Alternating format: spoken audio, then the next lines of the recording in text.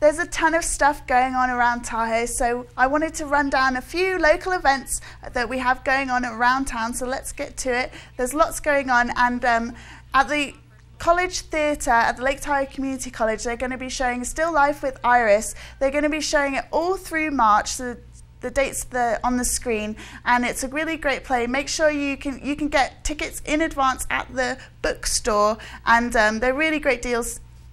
Uh, general tickets are 10 bucks and then if you're a student body card holder you get it for a discount as well as if you're a kid under 13 so make sure you check that out. We also have ongoing events going on next door to us at the Tahoe Wellness Community Centre. Every Saturday they do a bunch of stuff, including massage therapy for free, and they offer it to the community every Saturday, as well as yoga and breathing meditation. So make sure you check out all the classes there, and you can pick up a brochure. And on Sunday they do the free community meal as well from 1.30 to 3. That's going on, and they collaborate with Hot Gossip on that. It's a really great event that they do that, and it's all free for the community. So make sure you check that out out.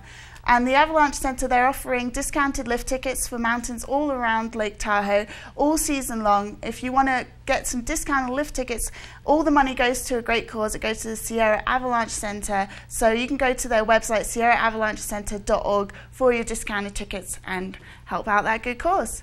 And if you want to go on a snowshoe, snowshoe tour, it's a really great experience. They're doing those um, from on March 1st and the 8th.